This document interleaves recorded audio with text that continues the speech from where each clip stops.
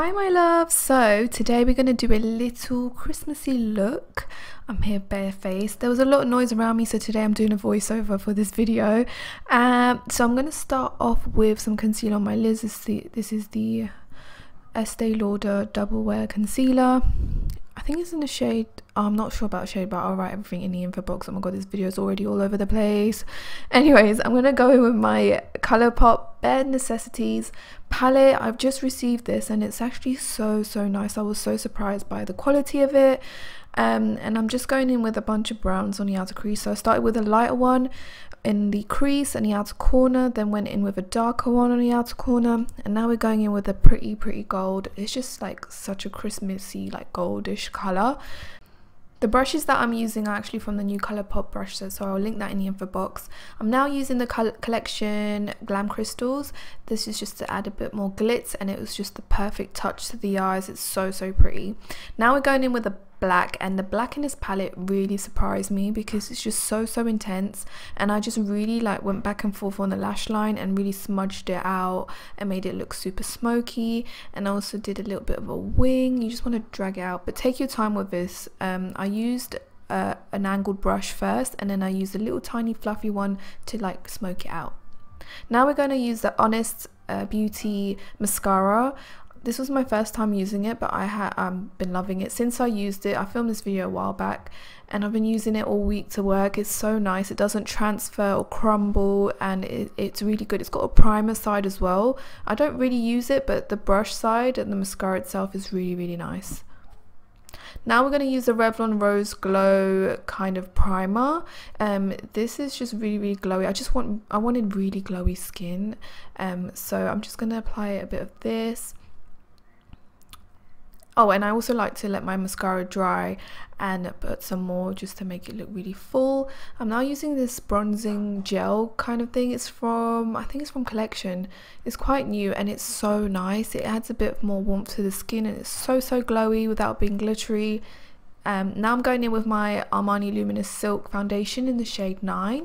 Um, this shade matches like the perfect ever. I love it so much. It's like my winter colour anyways i'm just going to blend this out with my x1 cosmetics sponge which i definitely definitely recommend. It's so much like softer than a beauty blender and much more affordable. So if you want to save some coin go for this sponge. It's so good. I've been using it every day.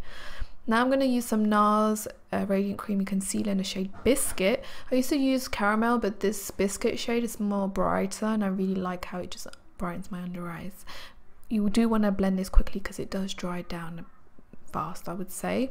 I used a bit of my Laura Mercier powder just to set that in place and now we're using this new Makeup Revolution Strong um, Soul palette and I'm going to use the bronzer shade and it's just so pretty. I really like the tone of this um, of this bronzer shade. Again, the brush is from the Colourpop brush set, so yeah this brush it was so good. I love every single brush in it.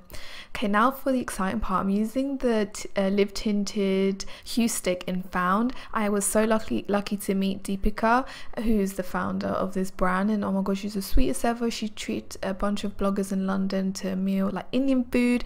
And um, today i'm going to be trying to she kindly gifted this um, shade found to us um, it's amazing. You can color correct with this. You can use this as blush. I'm using this on my lips right now and as you can see i'm putting a bit on my cheeks and it's just a beautiful burnt red shade. Uh, it's just so lovely. Oh my god i love this product and the consistency of it is so nice. And i just love this red. It's like I'm not like one to wear red, but this is like a red I would wear because it's so toned down and burnt and warm. It's so beautiful so yeah. Now we're going to be using the revlon endless glow highlighter. Um, um again you want to like make sure you blend this because it kind of dries down quite quick. So just quickly blend it with your finger or sponge.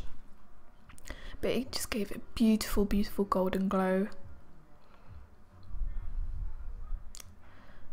Guys i can't get enough of this lip shade. Like look how pretty it is. It's so beautiful I love it so much.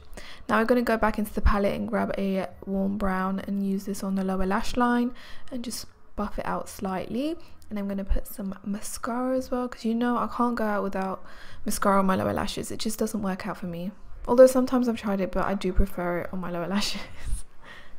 and yeah this is the final look guys i hope you enjoyed this video if you do recreate it tag me on instagram i want to see your looks and yeah i'm going to try and do some more christmassy looks before christmas. I love you guys lots. Make sure to subscribe give this video a thumbs up and i'll see you in my next video. Bye